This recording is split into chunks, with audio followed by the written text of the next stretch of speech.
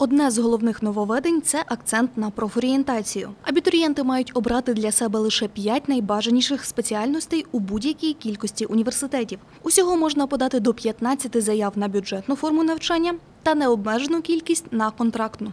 У цьому році е, стартує одне із перших таких нововведень. Це заяви всі подаються лише у електронному вигляді. Тобто вести документи, їздити по містах України чи їхати до міста Хмельницького не варто. Це можна зробити власне із е, свого персонального комп'ютера. Для кожної заяви слід встановити пріоритетність. Ця система запроваджена в минулому році, дозволяє зараховувати випускників уже під час першої хвилі.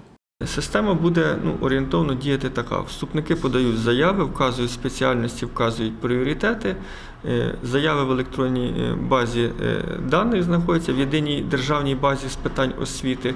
І по закриттю цієї бази, тобто по закінченню прийому, відбувається ранжування випускників за їхніми балами зовнішнього незалежного оцінювання, за середнім балом атестату, які сумуються, і за відповідно е, пріоритетами тих е, вузів, які вони потрапили.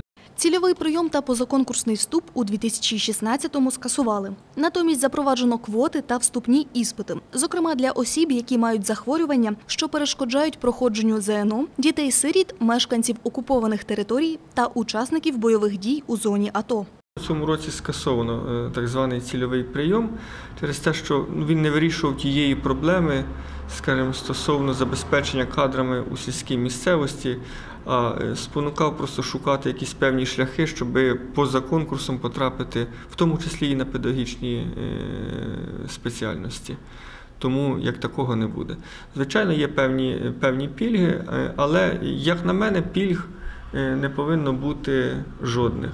Ми маємо мати е, кваліфікованих спеціалістів, а ними можуть стати тільки ті, хто мають е, ґрунтовні знання. Ще одне нововведення – відсутність ручного розподілу держзамовлення, який раніше здійснювало Міносвіти.